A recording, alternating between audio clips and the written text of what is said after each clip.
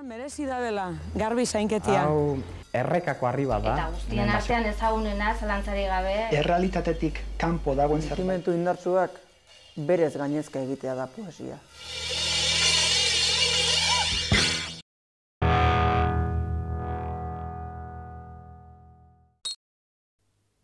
Leku denborazko kasuetan deklinatzerakoan zenbait hitzek mugagabea hartzen dute. Batez ere isurkiak edo likidoak izaten dira, baina badira mugagabea hartzen duten beste zenbait hitz ere. Uretara noa. Uretara? Bai, uretara.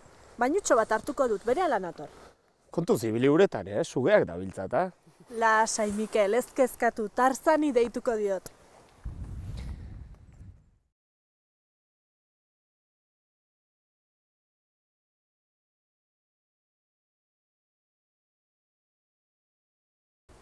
Ez dakit, Mikel. Odei horiek ez zaizkit bat ere gustatzen. Biharko ibilaldia euritan egin beharko dugula uste dut. Euritan, zuk uste? Zakurraren putza. Ez dut ekarri zamarrarik eta ez da euritakorik ere.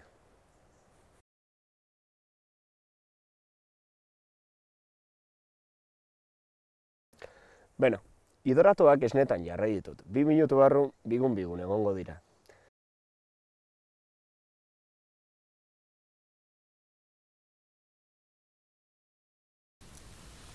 Jo, beroa dago. Izerritan jarri naiz. Bai, beroa dago. Aizu, Iane, hotza altzegoen errekako ura. Ez zegoen beroa.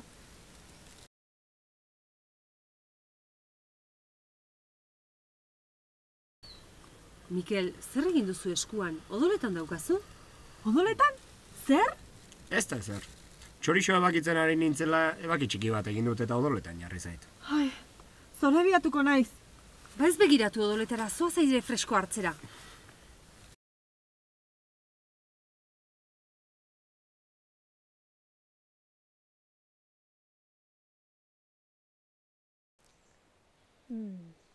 Iluntze zoragarria daukagu adiskideak. Lotan zaudete ala? Ez duzu paisaia ikusi nahi? Oiane, mesedez, zatoz lotara, bihar goiz jaiki behar dugu eta... Banoa, banoa. Baina iluntzeaz gozatu nahi dut ametxetan hasi aurretik. Nerea lotan aldago. Bai, lotan nago. Lotan baino gehiago ametxetan nengoen. Ametsa izorratu didazu oiane. Sartu lotara!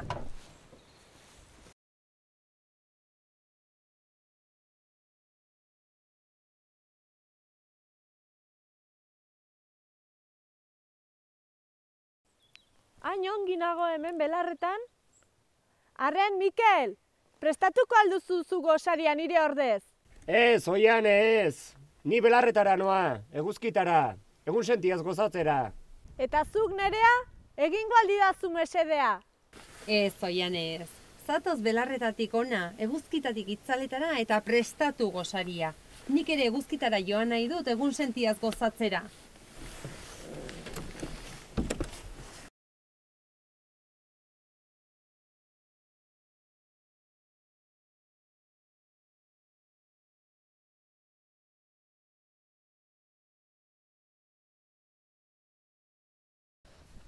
Esnea sutan dagoen bitartean, ogi xerrak prestatuko ditut.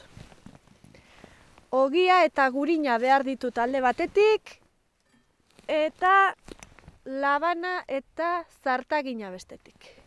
Ah. Az gaitezen.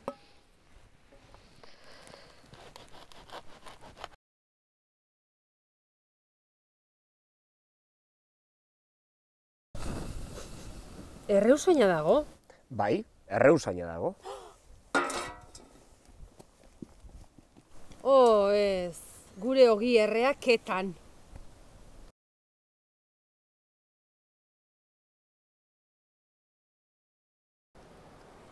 Iturria, iturria, ikus dezagun non dagoen iturria. Hemen. Wow, lekutan dago. Landazurin dago iturria. Hemendik hiru ordutara. Hiru ordutara eta lekutan diozu? Lekutan ez, pikutan dago hori. Zer modu antolakuntza hori? Ongi, dena kontrolpean daukagu. Non egon zara? Gailur txiki horretara joan naiz, berotze ariketak egitera. Araino? Mm, bai. bai, muño horretaraino. Neska, tokitaraino joan zara berotze ariketak egitera?